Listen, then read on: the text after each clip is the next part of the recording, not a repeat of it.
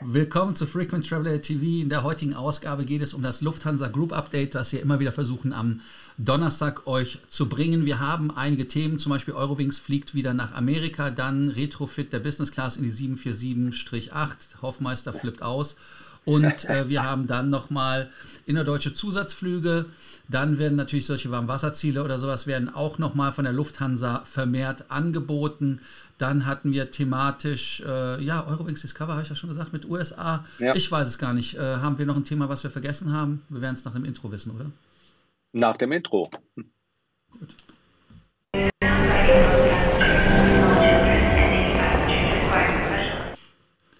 Willkommen zu Frequent Traveler TV nach dem Intro auf der linken Seite wie immer der Hoffmeister. Und auf der rechten dann natürlich der Korsten. Ganz genau. Und wir sind hier, um euch mehr Meilen, mehr Punkte, mehr Status zu bringen beim gepflegten Vielflieger Talk. Und da ihr ja gute Zuschauer seid und dafür danken wir euch recht herzlich, denkt dran, abonnieren, Abonnierbefehl, Glocke an, die Glockenbefehle und dann natürlich diesen Beitrag liken und unten ganz wichtig kommentieren. Ja, äh, da der Kollege Hoffmeister schon aus dem Häuschen ist, Mario, muss ich ja sagen, wir benutzen ja das ja nur zum Intro. Ja. Ähm, Stilelement, ihr wisst das schon. Ähm, welches Thema hat dich denn am meisten heute wieder erfreut?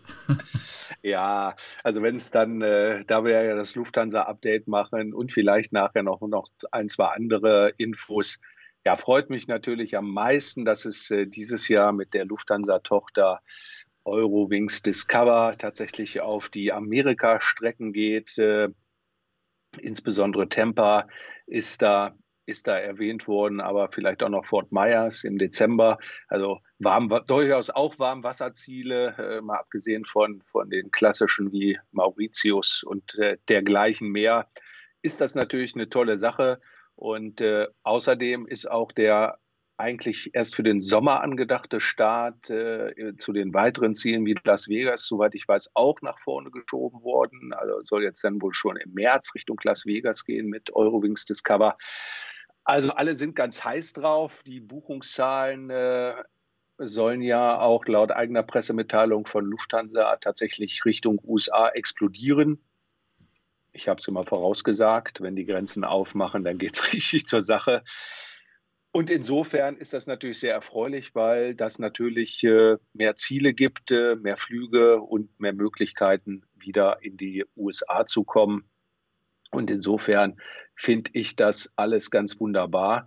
Und ja, damit im Zusammenhang, du hattest es in der Einleitung gesagt, gibt es auch tatsächlich wieder mehr innerdeutsche Flüge, Zubringerflüge oder äh, zumindest auch Flüge von den äh, großen Städten nach Frankfurt und München, insbesondere Berlin und Hamburg sei da erwähnt, äh, dann auch wieder in den sogenannten Randzeiten, was sicherlich für Geschäftsreisende von großem Vorteil ist. Ja, meine Begeisterung kennt keine Grenzen. Äh, die nächste ist natürlich äh, die in Aussicht gestellte Business Class. Aber vielleicht äh, magst du da mal was zu sagen. Ja, die neue Business Class, die ja kommen soll, soll also auch retrofitted werden in alle Flugzeuge, die bei der Lufthansa im Moment fliegen. Heißt also, die 350er und die 747-8er sollen die bekommen. Dauert natürlich wieder ein Projekt für ein paar Jahre. Äh, deshalb. Aber die 380er bekommst nicht, auch wenn bei Qatar gestern per Paukenschlag verkündet worden ist, der 380er fliegt über das Winter. Ähm, ich bin immer noch der tiefsten Überzeugung, dass USA mit 380er angeflogen werden könnte, aber hm, wer bin ich, um so etwas zu formulieren? Also, wie gesagt, die neue Business Class kommt auch mit den äh, ganz, ganz neuen Sitzen, nicht mit der 787 zu verwechseln, die halt von den Sitzen her eine ja, zum, zum neuen Sitz eine Light-Version sind, zum alten Sitz aber ein deutliches Upgrade sind. Ähm, also insofern, das ist in meinen Augen eine super Geschichte. Natürlich sagen jetzt böswillige Zungen, hey, wenn die das Ding einbauen, dann ist das schon veraltet. Ich glaube es in dem Fall nicht, weil so wie wir von Lufthansa gehört haben, waren sie wie immer sehr zukunftsweisend. Ja, also weiß ich nicht. Ich äh, meine ja irgendwo gelesen zu haben, dass, dass die, das ist ja quasi nur ein Flugzeug, die 787, die sie da bekommen, die ja jemand an, die ja jemand anders bestellt hat, da, dass sie die, die, die, die äh, Business Class des ursprünglich angedachten äh, Käufers darin bekommen. Da bin ich mal sehr gespannt, wie die dann aussehen wird. Äh, ja, es sind ja zwei, sind ja zwei ja. Äh, Käufer gewesen. Ich glaube einmal, also vier von einem und eine von dem anderen, Vistara oder glaube ja. ich, ich weiß, also man weiß nicht ganz genau. Ja, wir, also werden wie, sehen. wir werden sehen. Wir werden, wir werden, wir werden sehen, äh, äh was da dann passiert. Man darf sehr gespannt sein und wir sind sehr gespannt darauf. Und ich bin auch sehr gespannt, wenn die neue Business Class tatsächlich in die vorhandenen Flieger eingebaut wird, wie die dann da so konfiguriert sind, insbesondere bei der 747-8. Ganz genau. Dann haben, dann haben wir wieder eine Geschichte, die hatten wir im Intro gar nicht erwähnt. Das ist auch aus der Lufthansa-Gruppe, ist die Austrian Airlines, die nach Chicago fliegen sollte, die dann in Keflavik gelandet ist, quasi elf Stunden von Wien nach Wien. Wir hatten das ja letztens mit der Lufthansa auch. Ich glaube, das war Chicago, wo die hin. Aus Chicago? Ja. Auch Chicago. Ähm, dann wieder gedreht ist. Genau, die haben gedreht, aber die ähm, Österreicher haben aufgrund eines Notfalls sind sie halt wirklich in Keflavik gelandet, haben den Passagier ausgeladen und haben dann den Rückflug nach Wien begonnen. Ähm, Im Aerotelegraph stand halt mit der Überschrift sicher ist sicher. Und jetzt fragt man sich, Keflavik, ist das nicht näher an Chicago als was anderes? Ja, das Problem ist aber ganz einfach in dem Fall gewesen, man hat so viel medizinisches Material benutzt, was man brauchte an Bord, dass es halt nicht mehr nachgecatert werden konnte, weil ja. so wie ich gehört habe, äh, also ich dachte mal so Defibrillator und diese Pads und so, aber da gibt es anscheinend so viele Standards, äh, als ein Punkt oder auch andere medizinische Medikamente, die man einfach gar nicht vor Ort vielleicht kaufen kann oder darf. Das heißt also, in, in Wien hat man die gehortet, weil man da ja einen Betriebsarzt hat, der so etwas dann machen kann. Ja. Äh, USA geht sowas nicht. Dann ist man halt einfach zurückgeflogen aus, aus Sicherheitsgründen. Äh, mag für den einen oder anderen etwas restriktiv sein, für den anderen natürlich äh, übervorsichtig, aber hier Safety First.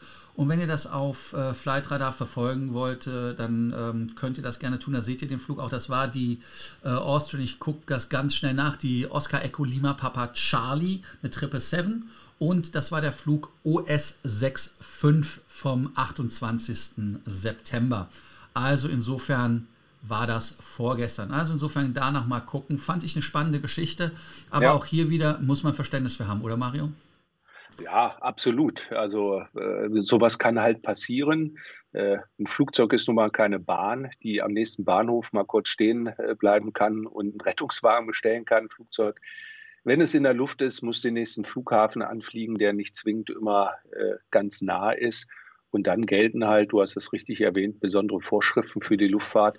Und da das im Grunde ja die Sicherheit für uns alle ist, finde ich das völlig in Ordnung, dass man das so gemacht hat. Es ist natürlich sehr ärgerlich, wenn man an Bord ist äh, und nach elf Stunden wieder zurück am Ausgangspunkt ist und dann einen Flieger später nehmen muss. Aber man muss sich halt immer überlegen, was passiert, wenn man selber mal der medizinische Notfall ist. Da möchte man dann auch, dass zumindest alles, äh, was an Bord äh, möglich und vorhanden ist, dann auch tatsächlich da ist. Und insofern finde ich, ist das ärgerlich für, den für die anderen Passagiere, aber setz live und da muss man dann halt mal durch. Ganz genau. Dann als nächstes Thema einfach etwas aus dem Cargo-Bereich mal genommen. Warum? Ganz einfach, weil die MD-11, das ist ein ikonisches Flugzeug. Äh, ich bin ja. mit der Vorgänger geflogen, ich glaube damals LTU TriStar, die war ja so ähnlich ja. Vom, von der Optik her. Ähm, dann auch mit der Finnair, mit der MD, äh, mit den kleineren Brüdern MD 80, 81, 82, wie die alle hießen, und dann auch mal mit der MD äh, 10. Die hieß ja damals, glaube ich, DC10. DC10, genau. DC10. Ähm, aber die ist dann als Cargomaschine bei den Kunden weiter verhurt worden, hätte ich was gesagt, weil die kein Verkaufsschlager war. Die Lufthansa hat aber sich dazu entschieden, jetzt Mitte Oktober die letzte bei der Cargo auszuflotten, zumal sie ja auch 777F bekommen haben, ja. sogar auch irgendwie noch welche dazugekauft haben. Und damit gibt es in der Welt nur noch drei Fluggesellschaften, die auf dieses Muster setzen. Das sei es nur mal erwähnt. Wer also Spotter ist, muss in Frankfurt sich nochmal hinbemühen und schauen, ob er einen Schuss von der MD-11 bekommen kann, falls man das noch nicht hat. Aber ich glaube, jeder hat da schon so alt die Maschinen abgeschossen im Sinne von Foto. Mario, nächstes Thema. Was haben wir noch? Äh, vielleicht noch mal äh, sozusagen ein Randthema zur Lufthansa, weil äh, ich äh, bringe dich ja immer gerne auf dein Lieblingsflugzeug, die A380. Äh, Singapore Airlines soll ab Januar wieder den berühmten Frankfurt-Flug nach New York mit dem A380 machen und äh, steht damit ja auch im Grunde in direkter Konkurrenz zur Lufthansa. Und damit sind deine Worte ja im Grunde wieder bestätigt, denn du sagst ja und hast es vorhin auch gesagt, du meinst für USA-Flüge wäre auch bei der Lufthansa eine A380 von der Kapazität her durchaus äh, gegeben und angesagt. Äh, Singapore Airline probierte es ganz einfach von Frankfurt wieder aus. Äh, und insofern ist das für alle wie dich, die gerne mit diesem Flieger fliegen, und Singapore Airlines ist ja auch Star Alliance, durchaus eine Überlegung wert, dann statt mit Lufthansa mit der Singapore Airlines von Frankfurt nach New York zu fliegen. Ja, ganz genau. Vor allem sind ja im Moment auch viele Meilenplätze frei verfügbar. Also da, ja. die sind weit offen.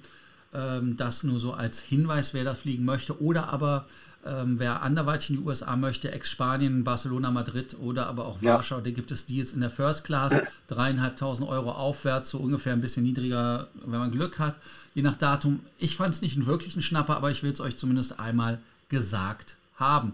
Also wie gesagt, wer 380er fliegen will, kann das mit Singapore Airlines machen und kann sich da dann damit vergnügen. Eine Sache noch, die ich auch spannend fand aus dem Lufthansa-Konzern, wir hatten das ja gesagt, dass die Swiss und die Lufthansa eine Art Impfzwang einführen, die Austrian den nicht machen möchte.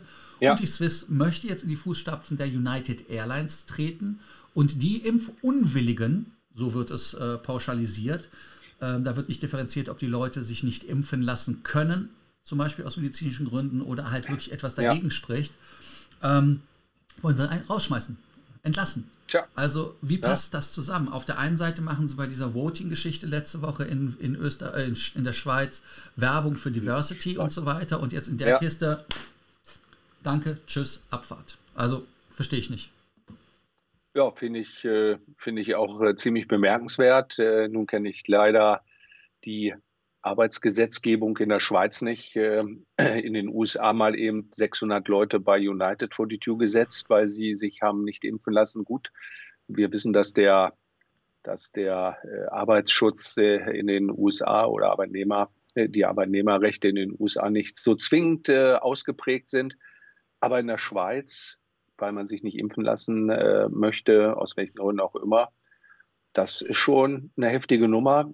Wie gesagt, ich kann es nicht beurteilen, ob das einfach so möglich ist, aber äh, die Swiss wird sich sicherlich etwas dabei gedacht haben. Insgesamt hast du allerdings recht, ist das schon ziemlich heftig. Auf der anderen Seite natürlich, wenn man von den Fluggästen verlangt, äh, wenn wir gesagt haben, 2G-Regelung äh, demnächst vielleicht nur noch, ja gut, dann 2G muss Premium, 2G Premium 2G mit äh, Premium, genau, 2G Premium. Äh, dann muss natürlich entsprechend auch das äh, Kabinenpersonal genauso mit dem Person, äh, Kabinenpersonal genauso verfahren werden. Warten wir es ab, wie es ausgeht. Ich finde es auf jeden Fall äh, im Gegensatz zu den Dingen, da, die du äh, eben erwähnt hast, letzte Woche hat man sich noch so als ganz tolerant und divers gegeben, dass man da jetzt kurzen Prozess macht. Das ist schon wirklich heftig. Aber wie ja. findet ihr das? Du hast noch nicht darauf hingewiesen. Kommentiert das doch einfach mal. Ganz genau, also kommentiert das so, wie der Hoffmeister die Hand runter macht. Nur wenn ja. ich das mache, ist es das Original. Kopien sind halt nur Natürlich. Kopien. So ist das einfach. Was willst du machen? Ja. Nur wer hat, der kann. Sage ich jetzt eigentlich in jeder Sendung, nur wer hat, der kann. Also. ähm, ja, auf jeden Fall gut, dass wir darüber gesprochen haben. Äh, danke, dass wir darüber gesprochen haben. Ich glaube, dass wir heute wieder viele diverse Themen aus der Lufthansa-Gruppe zusammengebracht haben. Ich hoffe, ich habe nichts vergessen. Haben wir was vergessen, Mario? Nee, ne? Nein, ich denke nicht. Das äh, war es im Großen und Ganzen. Und wir wollen ja auch nicht immer zu lange schwafeln, damit die Leute auch bis zum Ende dabei bleiben. Das ist richtig. Für 20 Minuten brauchen wir noch 5 Minuten, also insofern machen wir die jetzt auch nicht wahrscheinlich voll. Aber wie gesagt, es war ein bunter Strauß an, äh, an Themen, ein Potpourri der ähm, Informationen guten aus Laune. der Lufthansa. Der guten Laune freuen Sie sich jetzt. Ähm, kommentieren Sie jetzt. Und äh, welches Thema war bei euch das, was euch am meisten berührt hat, in Anführungsstrichen? Mario war ja ganz gerührt äh, und nicht geschüttelt von den USA. Äh, er ist sogar auf dem Trip, dass er mit Eurowings Discover nach Las Vegas fliegen will. Ähm, ich will überall kann, fliegen. Das können wir übrigens machen, wir machen das auch. Aber vorher machen wir noch das Horn Unboxing, wobei ich jetzt ehrlicherweise sagen muss, ich weiß gar nicht, wo ich mein Horn Paket versteckt habe. Ist aber oh. noch original verpackt, ich weiß Sag nicht, was drin ist. Nicht. sag das nicht, sag das nicht, sag das ich nicht. Baue Druck auf. Ich ja, Druck ein wenig auf. schon. Ja, vielleicht Deshalb. kann aber auch noch mal einer sagen, wo, was sind denn eure ersten Flüge, äh, die ihr in die USA gebucht habt? Oder habt ihr vor, demnächst mit Eurowings Discover zu buchen? Würde uns auch interessieren. Und äh, ja, ansonsten würde ich mich schon mal verabschieden und wünsche noch einen schönen Donnerstag. Ja, ich verabschiede mich dann auch, nachdem ihr natürlich ganz klar den Abonnierbefehl gemacht habt. Den Kanal abonnieren, Glocke an, kommentieren ist hier unten unter, der, unter den Shownotes und dann den Beitrag natürlich liken. Danke, dass wir steigen. Also wir sind ja echt sehr stark gestiegen. Die Viewzahlen sind wirklich hochgegangen. Ähm, wir haben jeden Tag ähm, mehr mehr Watchtime und vor allem auch Leute, die subscriben. Nochmal an dieser Stelle nochmal danke, danke. Und äh, ich schließe mich meinem Vorredner, dem Kollegen Mario H. aus G. Name der Redaktion bekannt und nicht geändert, äh, an und bedanke mich und wünsche euch einen wunderbaren. Ja? Ja? Ja. Donnerstag. Ja. Donnerstag. Na, wollte ich nicht sagen, weil das Problem ist mit Donnerstag, wenn jemand das am Freitag guckt, dann hat er ja Freitag und nicht so. Donnerstag. Dann sagt er, was sind wir besoffen oder was? Dann wünsche ich natürlich auch einen tollen Freitag, Samstag, Sonntag, Montag, Dienstag, vielleicht auch einen Mittwoch. Also einen wunderbaren Tag, wann immer ihr auch schaut. Bis dann. Ciao.